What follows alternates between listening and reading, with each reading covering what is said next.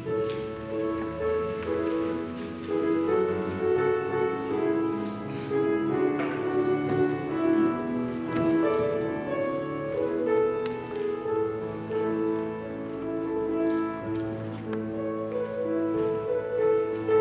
兄姐妹们，呃，考你们一个英文单词，这个新冠病毒怎么拼？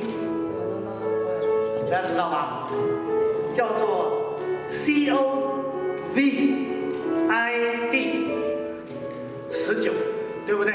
这是学术名词，至于俗称为什么武汉什么这个疫疫情呃新冠病毒的，它的学术名词最准确的学术界界定的是 C O V I D 十九。那现在我们把它倒。大家知道 C O 什么 Corona 对不对？C O Corona，V I 是什么？V I 是 virus，virus 是病毒，C O 是 Corona，叫做 Corona 病毒第十九号。倒过来变成什么呢？诗篇诗篇九十一篇，诗篇九十一篇，D D I。就变成了毁灭性的传染性病毒全面散发起来，一倒过来是这个意思。那九诗篇九十一篇是我们的依赖，十九号病毒新冠病毒正是在诗篇九十一篇当中非常清楚的告诉我们，让我来读一下诗篇九十一篇。住在至高、住在至高者隐秘处的，必住在全能者的荫下，荫庇庇护之下。我要论到耶和华说，他是我的避难所，是我的山寨，是我的神，是我依靠的。他必救你脱离捕鸟人的网罗和毒害的瘟疫。的翎毛遮蔽你，你要投靠在他的翅膀底下。他的诚实是大小的盾牌，你必不怕黑夜的惊骇，或是白日飞的箭，也不怕黑夜行的瘟疫，或是午间灭人的毒病。虽有千人扑倒在你旁边，万人扑倒扑倒在你右边，这灾却不得临近你。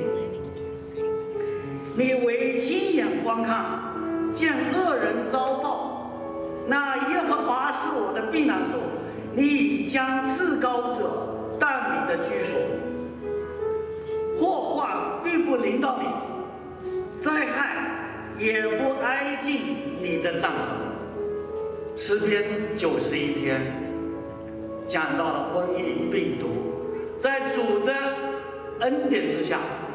我们在座的每一位在圣殿底下的弟兄姐妹们，我们有福了，我们有神的庇护。阿门。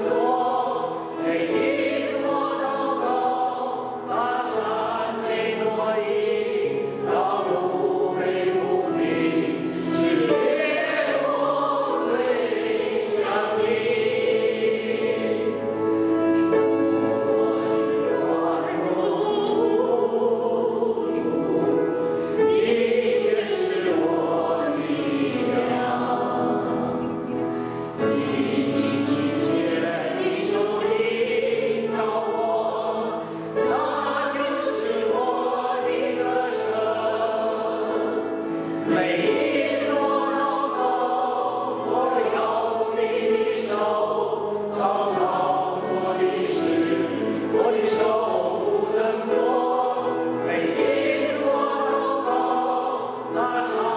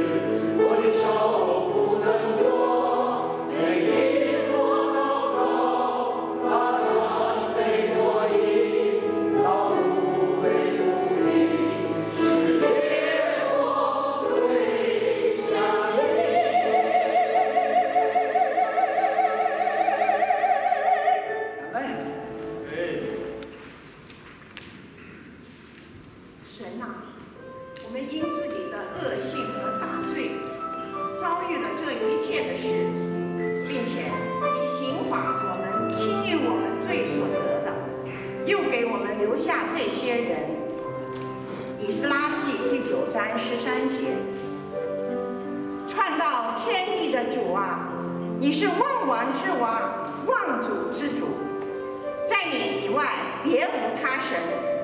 求你怜悯我们帮助我们脱去罪恶骄傲洗净我们每一个人。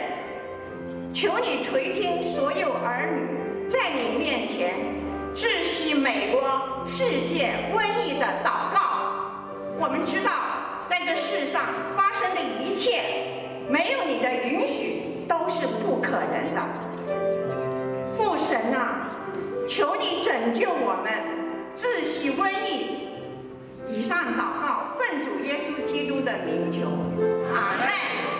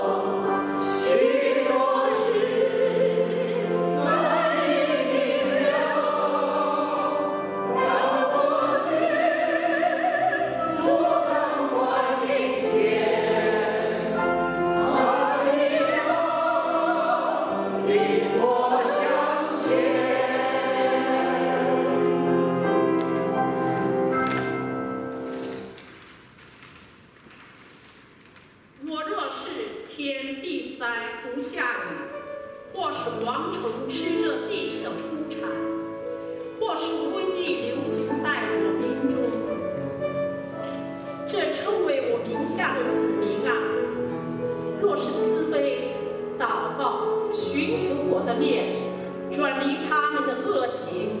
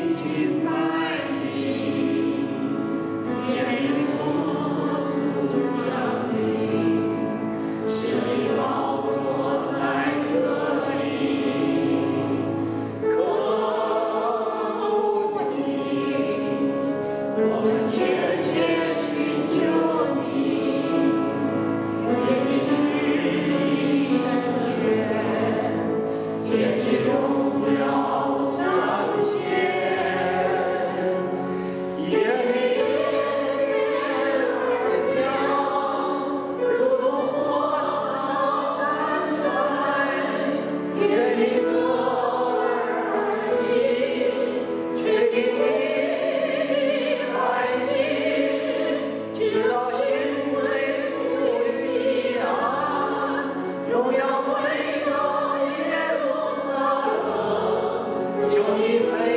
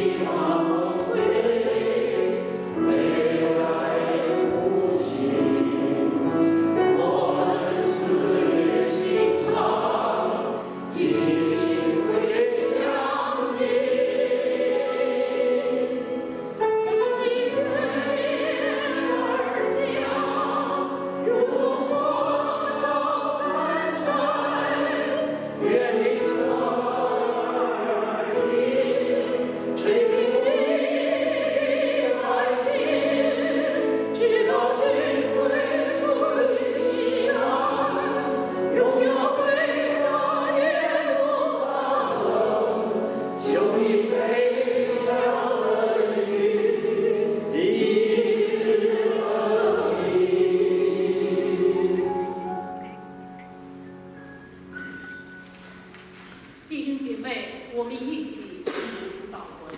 主导文，我们在天上的父，愿人都尊你的名为圣，愿你的国降临，愿你的旨意行在地上，如同行在天上。我们日用的饮食，今日赐给我们，免我们的债，如同我们免了人的债，不叫我们遇见试探，救我们脱离凶恶。因为国度、权柄、全是你的，直到。